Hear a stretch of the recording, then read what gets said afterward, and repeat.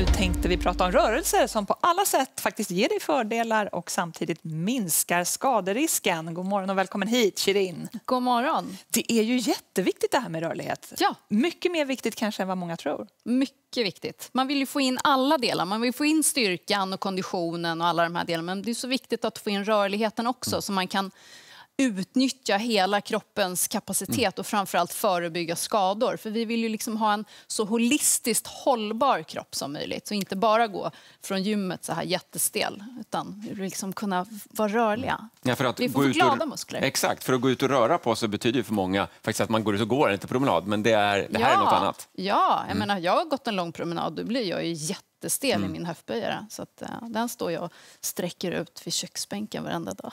Men hur mycket krävs det då? Är det liksom svåra rörelser eller enkla Nej, rörelser? inte alls. Jag gillar ju att förespråka att träning ska vara enkelt. Inte så mycket redskap och det ska vara enkelt så att det blir gjort. Och fördelen med rörelseträning eller stretch så det är att man får väldigt snabba resultat väldigt snabbt. Så jag kan säga, kör tio, fem eller tio minuter varje dag. Så här innan duschen eller någonting. Eller när man kollar på TV4 morgonnyheter så kan man stretcha tio minuter. Så himla lämpligt. Ja, eller hur? eller hur? Så, eh, och så få in det där så att du kan märka skillnad på en vecka eller två. Alltså Wow. enorma skillnader. Ja, men det, det vill Ja. man ju åt. Verkligen. Ja, Lite så- handfasta tips då, har du det? Lite handfasta tips. Ja. Vad ska vi göra? Ja, vi ska att, göra... ehm, nu ska jag försöka komma ihåg vad jag hade sagt att vi skulle göra. Vi har fyra övningar. och eh, jag tror att vi började med bröstöppnaren. Ja. Eh, stå lite brett isär. Min favorit. Fläta fingrarna bakom ryggen. Lite, lite sväckt i benen och så sträcker vi armarna långt bak, öppnar upp i bröstet. För efter alla månader av hemmasittande och telefonen och datorn så blir det det, blir oftast framåt. ännu mer framåtroterad.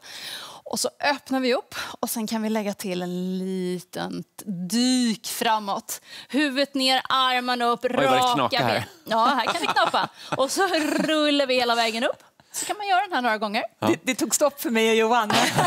Och du bara fortsätter. Men, ja, men alltså, och sen så kan man göra den här några gånger.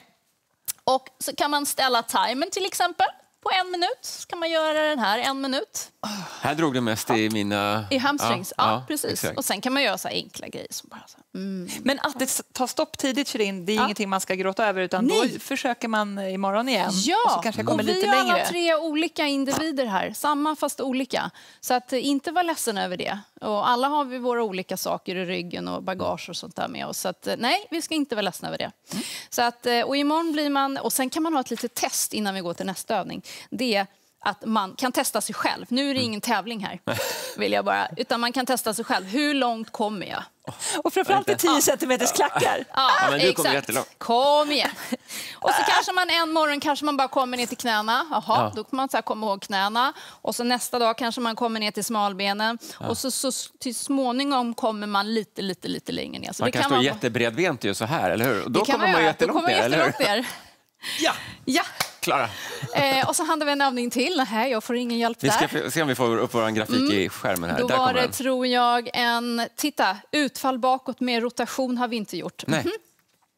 Lite eh, så här, höftbrett isär mellan fötterna. Svikt i knäna. Bak med rumpan. Händerna ihop. Öppnar upp till höger. Mitt höger. Försök behålla höfterna lite stilla. Ja. Öppnar upp till vänster. Hej, jag tar ett steg. Ja. Och nu ska vi lägga till. Vi öppnar upp till höger men vi kliver bak med vänster. Så det blir ännu större rotation. Kliver ihop, behöver inte gå fort, lite svikt i benen. Höger ben bakåt, vänster arm bakåt. Ja, vi är Så, helt nej, fel håll Johan! Vi- Jag vet, men vi det är roligare så här. Du öppnar upp. Här får man också in lite balans Ja. och lite styrka. Du sa ju att det var Okej. valfritt, så jag valde bara. Exakt. Ja. Och sen, ta det inte så allvarligt. Nej. Men ganska enkla övningar, alltså, enkla Shirin, övningar. men Så- som ger stort resultat. Ja, alltså det är liksom hela poängen. Liten insats, stort resultat. Eh, rullande vågen, väldigt lätt. Sträcker oss långt upp och rullar kota för kota hela vägen ner. Nu är vi tillbaka till den där testövningen. Och långsamt, långsamt, kota för kota, rullar hela vägen upp, sträcker.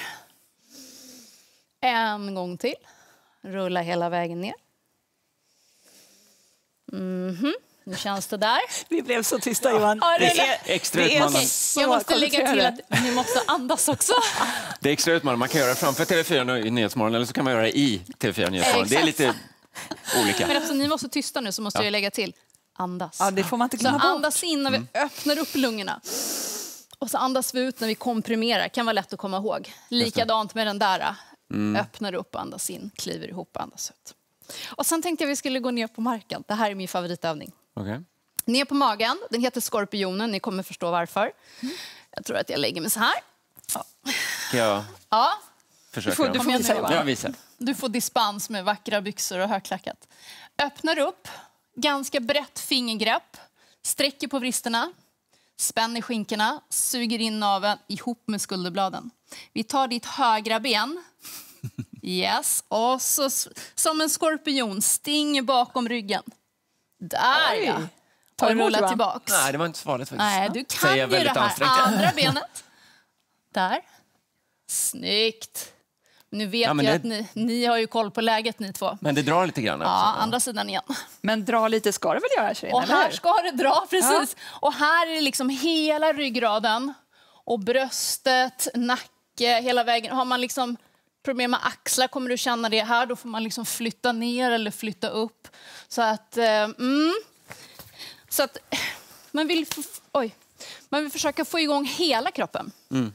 Ehm, så, att vi, så att vi använder hela kroppen. Den är Just det. till för att röra på sig. Men är det tänkt att göra liksom alla de här övningarna en gång? Eller är det Nej, jag tycker man kan köra två minuter, två minuter, två minuter, två minuter. Ja. Bara sätta timern.